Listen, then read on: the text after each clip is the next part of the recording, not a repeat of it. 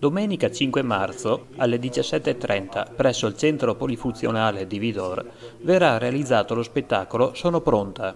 Ogni donna ha diritto alla propria vita. Ideato e scritto da Tea Righi, cantautrice e artista. Coadiuvata dal gruppo artistico che da lei prende il nome il Tea Righi Project. Noi cerchiamo di seguire un po' e dare spazio un po' a tutte quelle che sono le tematiche e, e i, diciamo, il, le, gli abitanti del comune.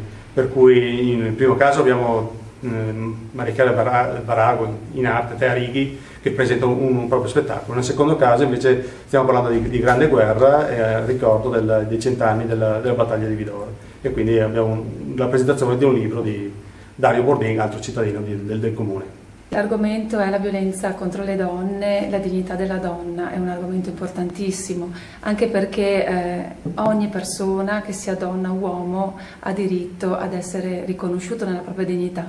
E quindi il messaggio finale che vuoi dare con questo evento qual è? Eh, credere sempre in se stessi, prendersi in mano la propria vita, non arrendersi mai.